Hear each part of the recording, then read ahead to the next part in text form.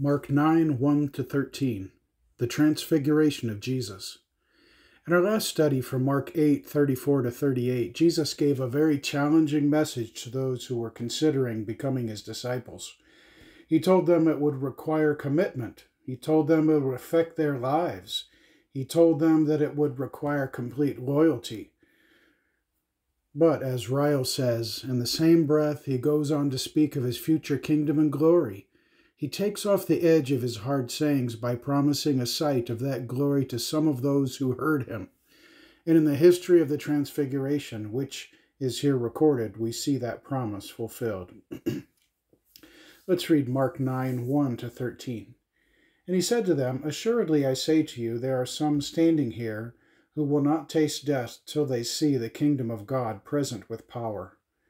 Now, after six days, Jesus took Peter, James, and John and led them up on a high mountain apart by themselves, and he was transfigured before them.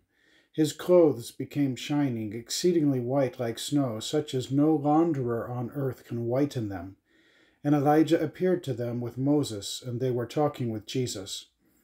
Then Peter answered and said to Jesus, Rabbi, it is good for us to be here, and let us make three tabernacles, one for you, one for Moses, and one for Elijah because he did not know what to say, for they were greatly afraid. And a cloud came and overshadowed them, and a voice came out of the cloud, saying, This is my beloved Son, hear him. Suddenly, when they had looked around, they saw no one any more, but only Jesus with themselves. Now, as they came down from the mountain, he commanded them that they should tell no one the things they had seen, till the Son of Man had risen from the dead. So they kept this word to themselves, questioning what the rising from the dead meant. And they asked him, saying, Why do the scribes say that Elijah must come first? Then he answered and told them, Indeed, Elijah is coming first and restores all things. And how is it written concerning the Son of Man that he must suffer many things and be treated with contempt? But I say to you that Elijah has also come, and they did to him whatever they wished, as it is written of him. So our message is divided into three statements or three subjects. The first is the statement, and that's found in Mark 9 1. I'll read that again. And he said to them, Assuredly I say to you that there are some standing here who will not taste death till they see the kingdom of God present with power. In this first verse, you will find that Jesus makes a statement that is somewhat difficult to understand completely. So let's keep our eyes open and ask God's Holy Spirit to illuminate our study so that we can understand what is being said. So, what does it say? Note that this verse should be connected to Jesus' speech at the end of chapter 8. The last thing he said to that crowd and his disciples is recorded in Mark 9, verse 1. He said that they could be assured that there were some people standing in the crowd who would not die until they had seen the kingdom of God come with power. So that's what it says. What does it mean? It is not difficult to understand the words that Jesus uses here. He said that some people in the crowd would see the kingdom of God come with power. The problem is understanding what those words and phrases mean. So we need to answer at least one question. What event was Jesus referring to? When we think of the kingdom of God, we often think of the future millennial kingdom where Christ rules the world for a thousand years. This was promised by God and revealed by Old Testament prophets. One commentator says Daniel said that the God of heaven will set up a kingdom that will never be destroyed. Daniel 2:44, you can compare Daniel 7:13 and 14. And many of the other prophets predicted the same thing. Obadiah 121, Habakkuk 2:14, Micah 4:2, Zechariah 14:9. However, when Jesus made this statement, he appeared to be saying that the kingdom was something that would be revealed in the lifetime of some of the people who were in the crowd. Since Jesus has not reigned over an earthly kingdom to this point, it would appear that he meant something else or that several of the people in the crowd are still alive today waiting for the kingdom to appear. I think that it makes more sense to say that Jesus was not referring to the actual kingdom of God, but something else. We will consider that later as we work through this passage. One commentator says this Varied have been the views concerning what event in the lifetime of certain of the disciples was meant. Among those advocated are 1. The Transfiguration, 2. The Resurrection and Ascension, 3. Pentecost, 4. The destruction of Jerusalem in AD 70, and 5. The manifestation of the kingdom in the church. Well, some have had other views. I believe that Jesus was referring to the transfiguration mentioned in the following verses. Here are my simple reasons. One, the very next thing that happens is the transfiguration. Number two, during that event, Jesus is revealed in brilliant glory. And number three, the disciples are terrified by his glorified and powerful presence. With those thoughts in mind, I think it's best and it fits best to think that Jesus was speaking not of his future kingdom being revealed on earth, but that these men would see his powerful glory on the mountain and know that he was the coming future king who would rule the earth. In other words, the transfiguration was a precursor reveal of what the coming king would look like in the future. Now, how does it apply? The Bible tells us to be diligent to present ourselves approved to God, a worker who does not need to be ashamed, rightly dividing the word of truth. 2 Timothy 2:15. This should cause us to be careful before jumping to conclusions, but it should also motivate us to study each part of the Bible in context. When we take the time to study the Bible and ask God's Holy Spirit for guidance, we will normally be able to understand difficult passages and find the true meaning of what God is saying. Just be sure to do a careful study and not jump to conclusions. As we look at the rest of the passage, let us carefully look at what the Bible says so we can see what Jesus was talking about.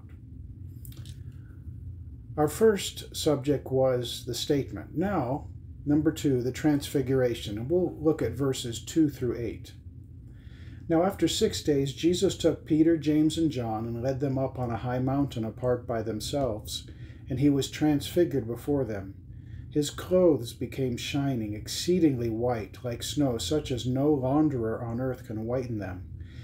And Elijah appeared to them with Moses, and they were talking with Jesus. Then Peter answered and said to Jesus, Rabbi, it is good for us to be here, and let us make three tabernacles one for you, one for Moses, and one for Elijah, because he did not know what to say, for they were greatly afraid. And a cloud came and overshadowed them, and a voice came out of the cloud, saying, this is my beloved Son, hear him. Suddenly, when they had looked around, they saw no one any more, but only Jesus with themselves.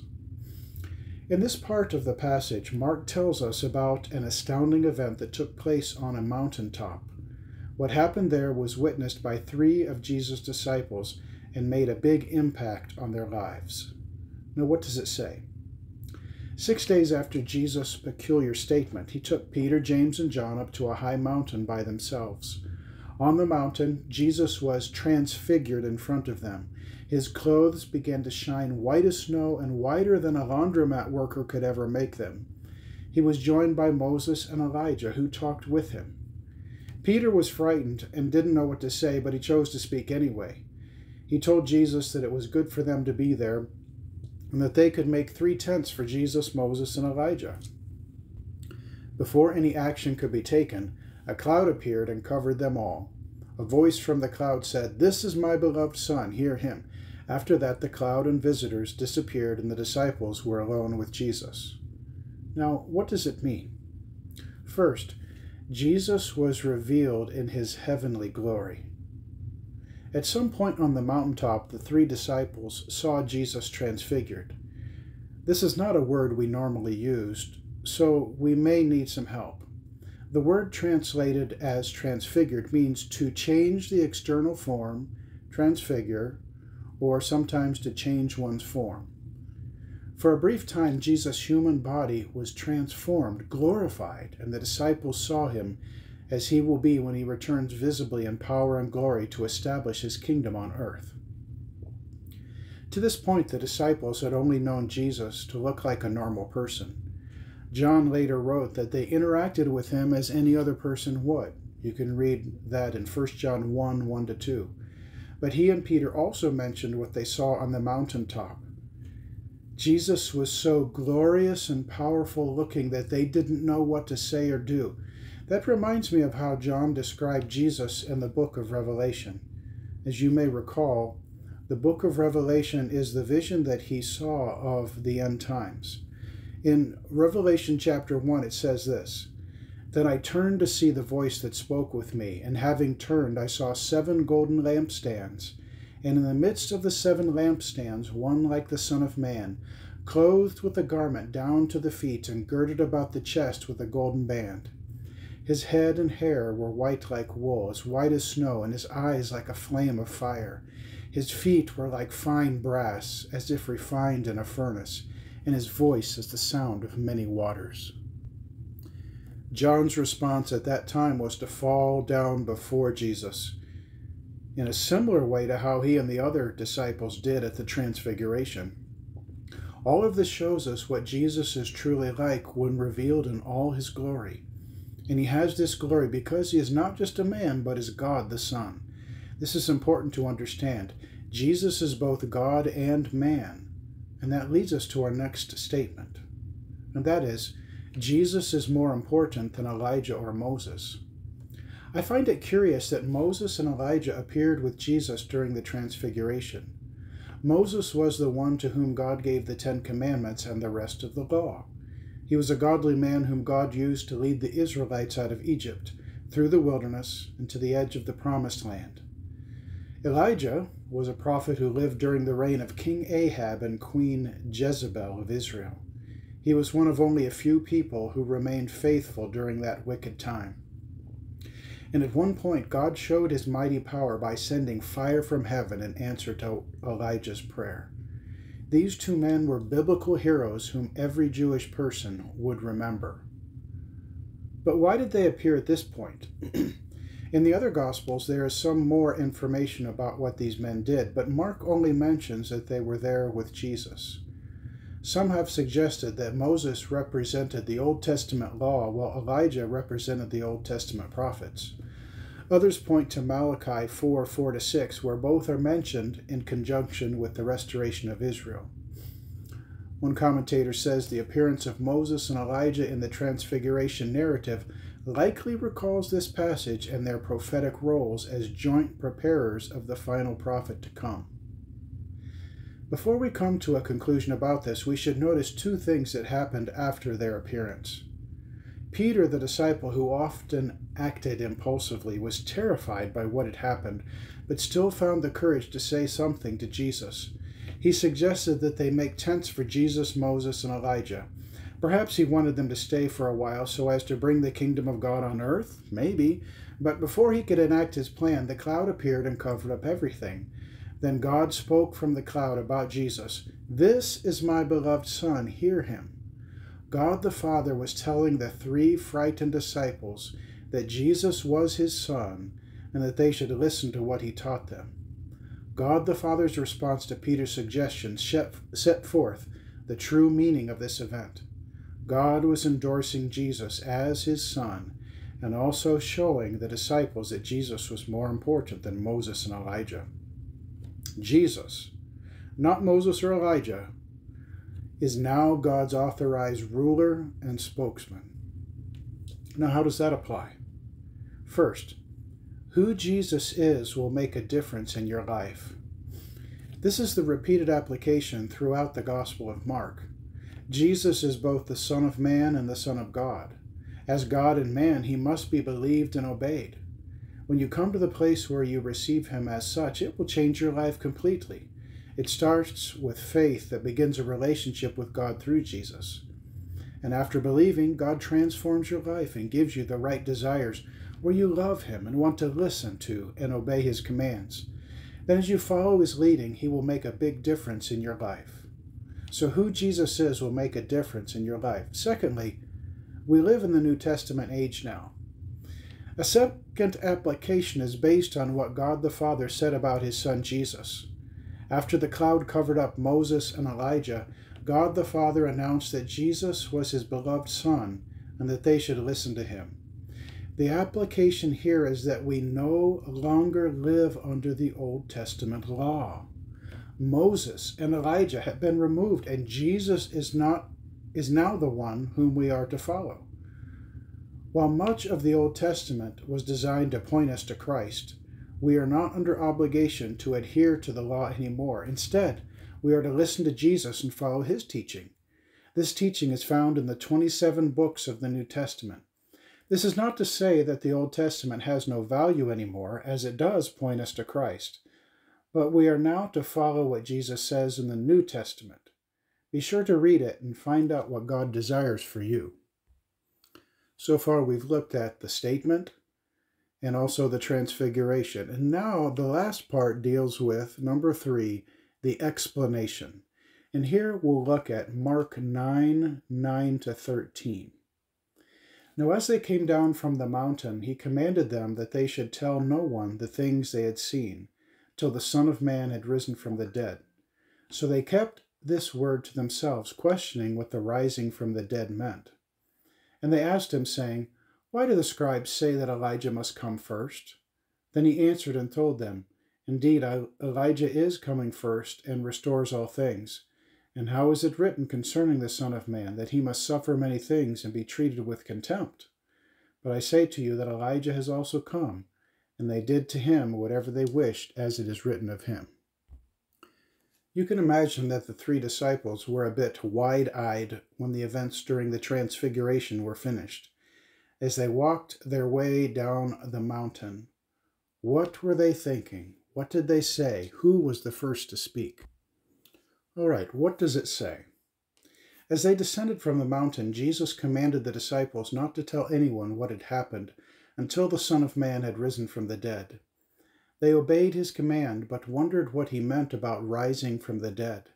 As they traveled, the three disciples asked Jesus what the scribes meant by saying that Elijah must come first.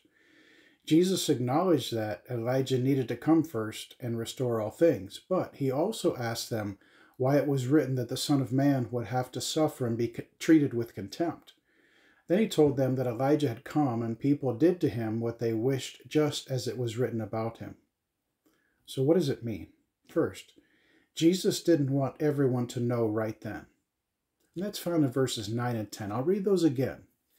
Now, as they came down from the mountain, he commanded them that they should tell no one the things they had seen till the Son of Man had risen from the dead. So they kept this word to themselves, questioning what the rising from the dead meant. So Jesus didn't want everyone to know right then. Peter, James, and John had been terrified on the mountaintop, but as they walked down the mountain, Jesus no longer showed his heavenly glory. He once again looked like a normal person. It may have taken a while, but they must have wanted to talk about it with the other disciples or even their families. But this was not Jesus' plan for them. He made it very clear that they were not to tell anyone what had happened. They were to wait until he had risen from the dead. Why was that? Well, at this point, they did not yet understand the true significance of what they had seen. Talking about the transfiguration would only bring up more questions and cause people to want to crown Jesus as king. Jesus was not focused on an earthly kingdom at this point. He was focused on the cross and becoming the payment for the sins of the world. These other things about him were not to be revealed until after his resurrection, for then it would all make sense. Jesus first had to die for our sins and then rise again. Then at a later time he would return to reign over the earth. But that was not important at the moment. The cross must, the cross must come first. A second thought. The disciples did not understand Jesus' timeline. Consider verses 11 and 12. And they asked him, saying, Why do the scribes say that Elijah must come first? Then he answered and told them, Indeed, Elijah is coming first and restores all things. And how is it written concerning the Son of Man that he must suffer many things and be treated with contempt? The disciples obeyed Jesus and agreed not to tell what had happened, but they had plenty of questions. What was this about Jesus rising from the dead? And after seeing Elijah on the mountaintop, they asked Jesus, why do the scribes say that Elijah must come first? Their question came from something the Old Testament prophet Malachi had said. Malachi 4, 5, and 6. Behold, I will send you Elijah the prophet before the coming of the great and dreadful day of the Lord. And he will turn the hearts of the fathers to the children, and the hearts of the children to their fathers, lest I come and strike the earth with a curse.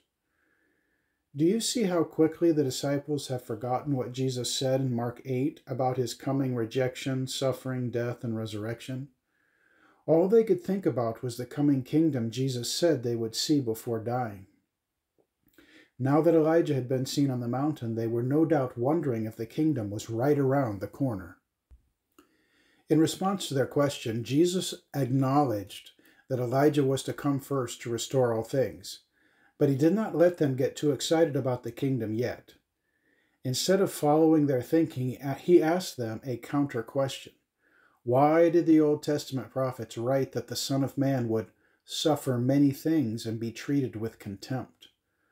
Mark doesn't record a response from the disciples, but I can imagine that they had never considered that as being true of the Messiah.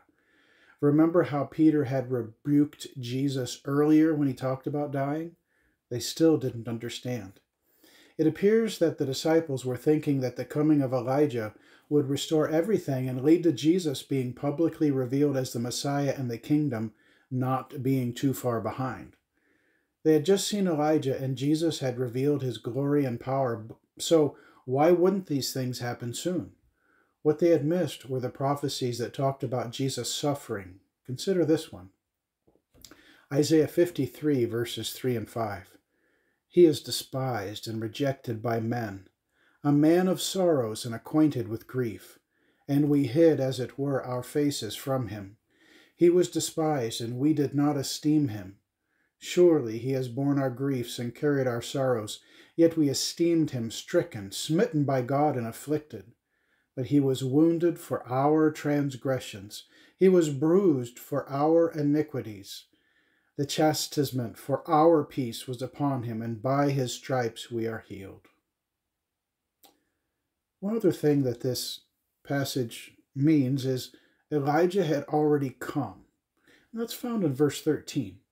Jesus said, But I say to you that Elijah has also come, and they did to him whatever they wished, as it is written of him. A moment ago, the disciples had asked about the coming of Elijah. Now Jesus reveals that Elijah had already come. He said that he had come and that people had done what they wanted with him, but it wasn't the appearing of Elijah on the mountaintop that Jesus referred to. As one commentator says, in a veiled way, Mark recorded how Jesus identified John the Baptist as the one who fulfilled at Jesus' first advent the role expected of the end time Elijah. How did John the Baptist fulfill the role of Elijah and restore things to where they should be? He did just as Malachi had prophesied. He preached repentance, which led many people to turn from their sins and to get right with God. The end result was that the hearts of both fathers and children were turned back to where they should be. But John's preaching was not appreciated by everyone, as we learned earlier. Herodias convinced her husband to kill John the Baptist, and he did. After hearing what Jesus said, the disciples understood that he was talking about John the Baptist. And you can see that in Matthew 17, verses 11 to 13. Now, how does it apply? Do you understand why Jesus came the first time? The disciples didn't understand that Jesus came first to go to the cross. Do you understand why Jesus was willing to die on the cross? He was willing to do that because he knew that we needed him to pay for our sins. We couldn't do it because we are all sinners who deserve God's judgment. But Jesus was willing to die on the cross and to shed his blood to pay the horrible price for the sins you and I have committed against God. He did that for you and for me. And now, now God calls on us to repent of our sins and put our faith in Him. Will you do that today?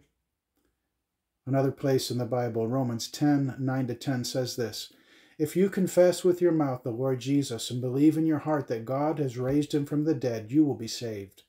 For with the heart one believes unto righteousness, and with the mouth confession is made unto salvation. Now there is one more application. Are you looking toward the future when you should be focusing on your present situation? The disciples were so bent on bringing in the kingdom that they didn't understand what God wanted for them right then. He wanted them to understand some things that you should consider for yourself. First, have you allowed God to convict your heart of your own sin? God sent John the Baptist to convince people that they were sinning and needed to repent and get right with God. If you are holding on to some sin today, today is the day that God wants you to repent of that sin and to turn to Him. Second, if you are a Christian who is focused on heaven and the future, please don't let that focus keep you from being faithful to the task God has given you now.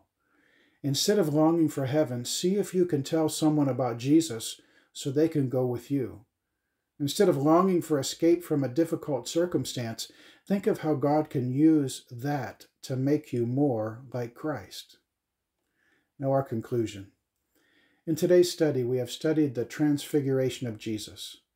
The disciples saw the Son of Man come in his power and glory on the mountaintop. It was something they would never forget. But there was still much to be learned from Jesus.